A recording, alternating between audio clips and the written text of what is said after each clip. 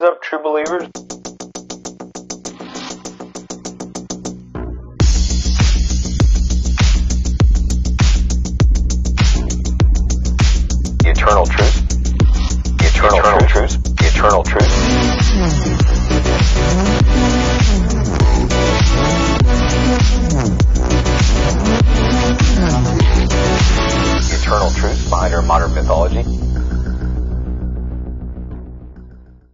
What is up, true believers? It's Mason here with Comics and Crosses, where we discuss the eternal truths behind our modern mythology. And today, this is uh, Monday, February 28th, last uh, last uh, day of February, um, last day of um, Black History Month. Uh, and um, you know, it's been a good one. I'm looking forward to March. My birthday's in March, so uh, you know, come on, March. And uh, today, um, I hope you had a good weekend. I hope you got all your comic books. I hope you got to read them. Um, I got to read some cool stuff uh, Action Comics, uh, the Warworld Saga, uh, Philadelphia from Rodney Barnes um, came out again. That's always a good one. Um, and, uh, you know, just some good stuff. But I wanted to have a really cool discussion. This is um, not my first time talking with uh, a special guest I have today, but actually, uh, Brent Trayce Sands uh, is a guy that I met in Sacramento, where I lived previously, and um, and he uh, we'll we'll talk some more about it. I'll let you hear it from him. But man, I just had to reach out to this guy because he opened up his own basically comic shop, like for his his comic. You know, he he's a this is a creator owned property, uh, Impound Comics. You can go to impoundcomics.com to check out his stuff. And um, the guy's just got big ambitions, and it's really cool because he takes um, his his material, his his characters, and he uh, has made video games. He actually is in the middle of his first comic convention, Comic Verse Sacramento, going on right now. And not only that, but a trailer is released today for Impound um, the movie. So um, if that sounds like a lot, it's because it is. It's because uh, it's it's cool. He he wants to attack every angle with his material. So I'm gonna bring up a friend of mine. Uh, welcome to the show, Mr. Uh, Brent Trayce Sands of Impound Comics. What's up, brother? How you What's doing? up. Good, good, man. Hey, How's, how's it been going in Texas? Oh, you know, Texas is uh it's it's different, but I kind of like it. It's a nice, easy flow. Um, I work from home, so I made my office set up the way I like it. And Yeah, uh, yeah. you know, no, not here, you didn't forget where you came from. no, no, yeah, yeah, yeah. Gotta represent. I actually, I um, I should have had my Sacktown Hero shirt on because I got that too. Oh, You know, but so I I I I rep uh I rep not only Sacramento but Impound as well when I'm when I'm around with that one. So um. Yeah, so Brent, um, why don't you, uh, for those who are maybe new to you, um, why don't you just give a little uh, introduction to the world of Impound and all the different things that you got going on with Impound Comics? Uh, so Impound is a indie comic book company. Uh, we're based in Sacramento, California. Um, Impound is also the name of our main character. Originally, it was only supposed to be about him, and then other opportunities and interests of other characters from supporters uh, branched it off, and then just became a universe um, with multiple characters and villains and heroes. Um, and right now, uh, we, we're launching the biggest milestone so far in the uh, company, and that's the Kickstarter to get funding for a live action movie. Um, so we shot the trailer. Um, it's pretty much a collective of Impound 1, 2, and 3. And uh, yeah, need that budget, need that support from the public and from from everyone around the world if possible. Yeah, that's really cool. Some people just try to get like a Kickstarter going for one comic book, but you've already managed to, what is it, probably like six comics now or somewhere more? Where we have eight comics and two Yeah. children's books. Yeah. So you got the content's coming out, and then um, and actually going to try to um, film. And so you would film this in Sacramento, right? Yeah, most of it was filmed in like a 20 foot radius. So Wow. we just used every corner of an alley and a venue that was in the alley that we had access to. hmm That's cool. So, who did you tell me about? Who did you reach out to when you thought I, I'm going to try to make a trailer or a film, you know, version of Impound? Uh, well, so the director is a guy named Mikey Ware. Uh, we were already friends and have done a lot of work together previous before Impound was even a thing. Um, so that was an easy transition because, like I said, we were already friends. Uh, he already knew what I was doing, so there wasn't much of a pitch necessary there. Um, the guy who plays Impound is someone I went to Sac State with, and um, when I was in the planning process of it, uh, he just so happened to walk past my store, so it was like, all right, this is meant to be because here he is randomly. Yeah. right when I decided I want to reach out to him and, and do it. So the other characters are friends, and then uh, our nemesis was also just a, another person that just randomly walked into the store, um, and uh, he just looked like my villain. And then uh, I just asked him, would he be willing to play? And he said, yeah. So here we are, man. Uh, it was probably about two months of actual planning, and then like another month and a half of editing, um, and and now we're ready. And so, since you you found people that you know, uh, at least with the second guy that looked the part, did, is there a lot of dialogue in the trailer, or did you did you have to There's like not that much. did you have to like direct? No, there's it? not a lot of dialogue. There's not a lot of dialogue because of the reasons that um, everyone wasn't like a, a true actor. Yeah. Um, the, the character playing Impound really does act, so he had dialogue scenes, but everyone else I couldn't really um, put that much pressure on him with no previous acting experience, you know. Yeah. So we didn't shoot it with a lot of dialogue intentionally, um, and and more so put like some narrative and and uh, things like that. Yeah. Okay. Yeah. actually louder than words, if you would say it. Hmm. Yeah, because I, I mean, I've been in film school and try to get sometimes friends or people to act, and well, and uh, one thing is just if they can do it or not, if they can sound good, and another thing is people don't realize the amount of effort and work that goes into making film shooting. You know, like I, Yeah. I would see I would see people who are trying to act for fun melting down by the end of the day, like, man, don't we have the shot yet? Like, now, one thing I would say, we definitely had a good cast though. You know, for for pretty much uh, no one had to really like get replaced or no one there was no rescheduling. Um, everyone was there when they needed to be there, and uh, we got it done in the time frame that we planned. So um, as far as the people I worked with, there was everyone was perfect um, on that front. And how was it like shooting in Sacramento? Were you having to like, were you guerrilla shooting or were you getting permits or how how complicated was that? You're a guerrilla shoot. We ain't got time for all that. yeah. City of Sacramento, Sacramento doesn't even probably even have a department that deals with like permitting for shooting and stuff like that. That's it's just not a thing out here.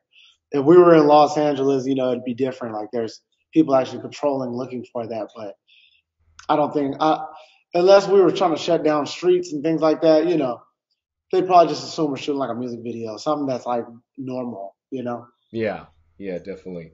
And um and you you come from a kind of the music scene background in Sacramento too, right? Planning events. Yeah.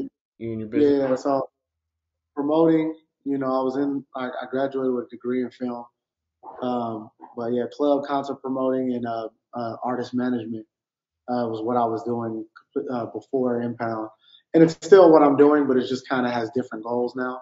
Uh, for example, like Comic Verse, you know, I did an event like a Comic Verse, but it was it was catered towards shoes uh, several years ago, and uh, it's the same idea. So it wasn't like any hard change other than what the theme is, you Mhm. know.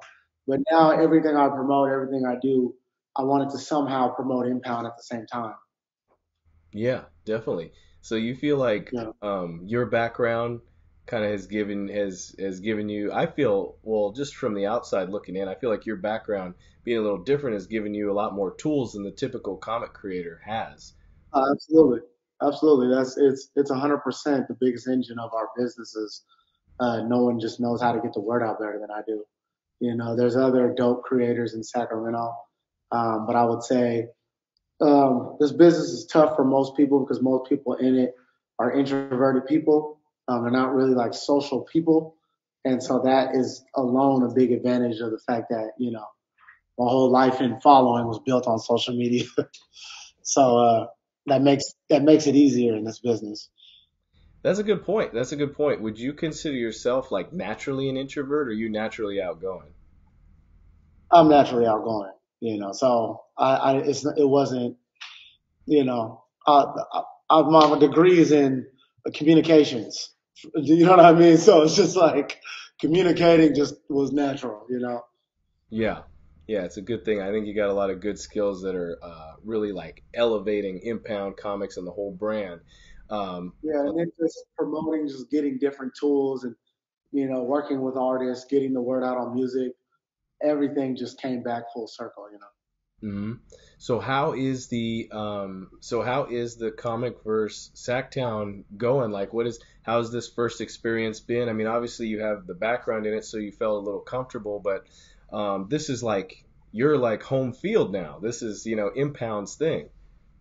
Anytime you throw an event, as long as people buy tickets, I'm perfectly okay with everything else. You know, like the setup, the breakdown, that's nothing. Um, getting people in the building is the scariest part of it. So Yeah, once they're there, it's not even pressure anymore, you know. yeah, that's cool. And so, what are you doing to uh, promote Impound? Like, um, is there any kind of special things that you're doing there for Impound to show it off, to show off the, the all the work? With Comicverse, Yeah. oh yeah, absolutely. The whole the flyer is our character, Alina. Um, we we put it's, it's uh, curated by Impound on every ad, every post. Um, we have our own vendor booth, you know. Uh, for people with VIP, they get Impound gifts. Um, so it's it's it's right behind the the Comicverse brand. So the presence of Impound is very very felt uh, with this convention. We even had the live action movie trailer like banner uh, in the Comicverse, like saying it drops tomorrow. Yeah, nice. That's cool. Well, Um, that's what's that? I'm saying that's the whole point of it. If it's if it's not promoting Impound, I'm not doing it. Yeah, yeah, definitely. Well, that's cool. And so you have um, also some uh, different. I've noticed just a real like uh, diversity of characters, you know, that are coming out that have their books in your comic line. So you got like female characters, you got you know the villains, you got the impound, and so um, what what would you say like in inspires you to do a new character that we haven't seen? Like, why do you keep bringing out these these new characters in the impound line? Because uh, if I was waiting for only Impound, it would be too much time in between waiting for the next book. Um, some of them were asked about by other people, but you know, it's just a whole universe. You know, we're just trying to introduce as many characters as we can, see what catches.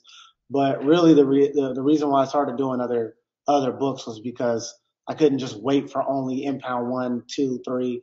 But we're only up to Impound three as we speak, so that would have been too much. Too, that that would have let too much time go off. You know what I mean? So, you know, my strategy is to turn over every stone and and keep having new things.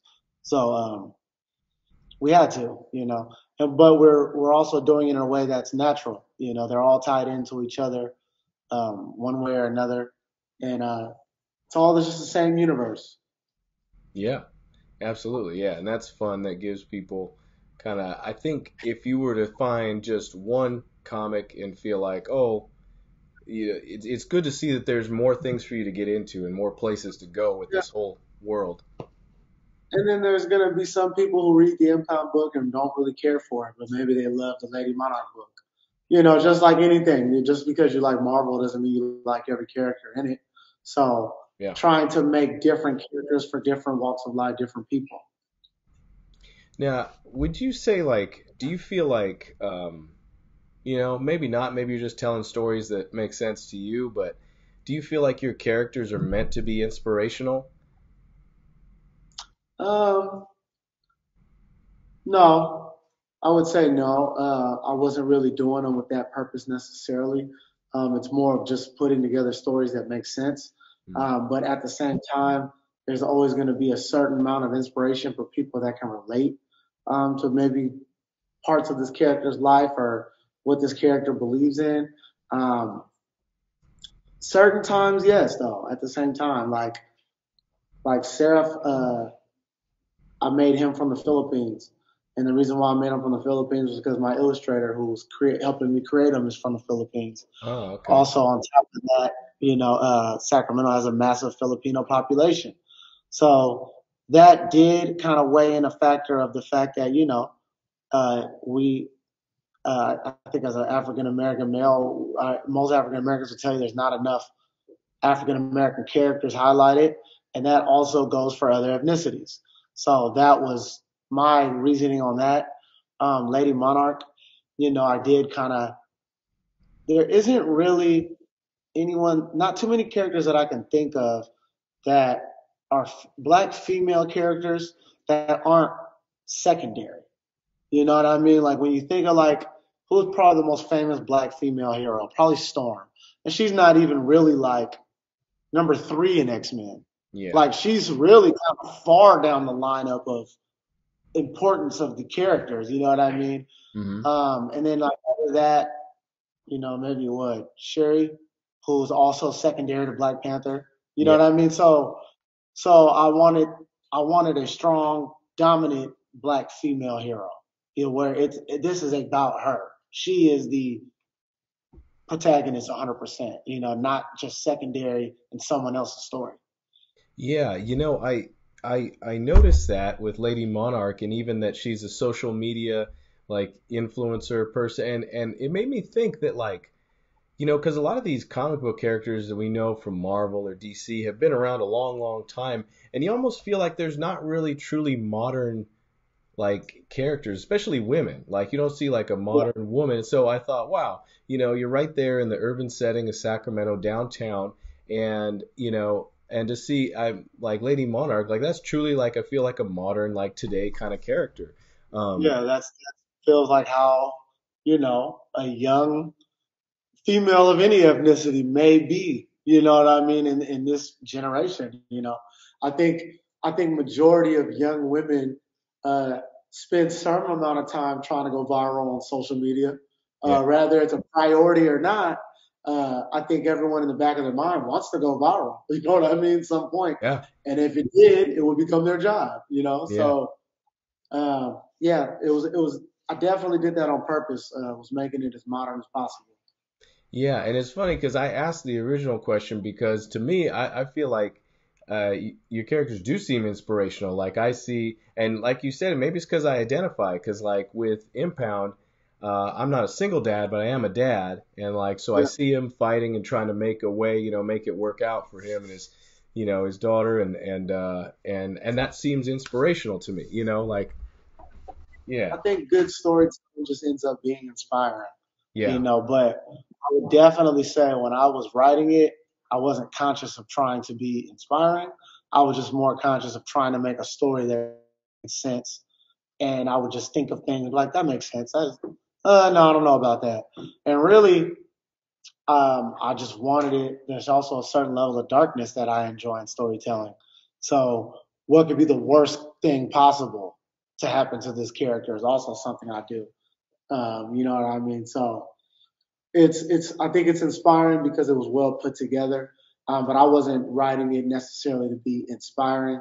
yeah. Um, it just ended up that way, you know, and I'm happy that that's the uh, the vibe that a lot of people get from them. Yeah, and I think you you hit it right on the head in that, you know, good stories are going to be inspirational because good stories involve conflict that needs to be overcome. Like there needs to be progress in a story. We're just not watching people sit around and think about life, you know. So, um, Yeah.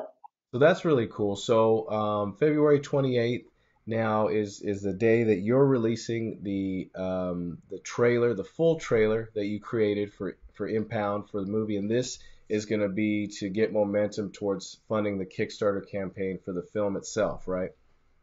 Yeah, in a perfect world, we get picked up by a network and have enough money to do an indie. You know, um, if anything, it's it's a move into the right direction. You Yeah. know, um, so that's I don't see any scenario where we don't get a good amount of funding. I think we did a really good job of not just me, just our our team in general of coming up with great innovative ways of making sure the word is out. Um, but you know, honestly, until the campaign's over, I won't know how much funding we have. But uh, that's it, it's a step in the next direction. We're gonna get some sort of cinematic adaptation of Impound uh, after this for sure, though. Yeah, yeah, that's cool. I mean, even if you made a um, a pilot episode for something that could get picked up, and then it was a show or something like Right. that, that could be cool. Um, Absolutely. And, and when so when does like the when would the campaign end? Like, what's the window for people to support you to get involved? Um, so it started today on the 28th, and then it ends on the 29th of March. Okay, so like a 30 day time One period. days. Yeah. Yeah, not that I'm telling you to wait till the end, but I just want you to know that this thing does run out, so you should get involved uh, now that it's open and now that you have a chance to get involved. And for that, do they do they go to uh, impoundcomics.com or is there another URL they want to go to? Well, it's on Kickstarter, um, so you can search us on Kickstarter, but it is also on the homepage of our personal website. Um, if that's easier, yes, go to impoundcomics.com. Okay, Um, if you see, or if you're on our Instagram, just click the link in our bio. okay, perfect. Yeah, and then also I'll put that link in the description here of the video so you guys can click on it and check out, see the the campaign, see what's involved in it, what you get, and and how you get to be a part of that process. Um, okay, and then um, I am so obviously we're trying to get a movie made here, but uh, what else is in the future? Is there anything else? Are you like like really locked in on getting this movie made right now? Uh, I would definitely say the movie is the most important thing on our uh, list right now. Um, but we're also coming out with an animated um, adaptation of Impound, so that's that's a 100% in the works right now. Cool. Probably about six seven minutes into animating. Um, yeah, so that for sure is coming as well. I think that, you know, um, down the line, you're just going to have to create like a studio, like a whole, like, you know, Yeah. with all the connections and contacts that you've made and the whole, you've probably seen all these, all these content creation processes A to Z. So maybe that's in the future for you. No, absolutely, that's definitely a goal of it. To have just a whole studio that we don't need outside anything, we just do it all ourselves. Yeah, awesome, brilliant. Cool, man. Well, I appreciate you coming by the show today. I um uh like I say, I'm always like impressed to see all the things that you're doing and all the cool stuff that's happening in Sacramento, which no longer my hometown, but it still has a special place in my heart. And uh, yeah, man, so just keep up the good work. Keep uh, pressing the boundaries of what uh, what you can do with your creativity. Thank you, brother. Appreciate you for having me on. Okay. All right, guys. So definitely go to impoundcomics.com. I'll put the link in the description for the Kickstarter as well so that you can support it. You can be a part of this and actually see it go from the trailer, which you can watch now, all the way to a full feature film that's going to be, uh, I think, going to be pretty sweet, especially for those of us that are in the Sacramento area to really see that that come to life right in your own backyard. So uh, thanks again, Brandon. I appreciate it. Thank you, brother. Take care.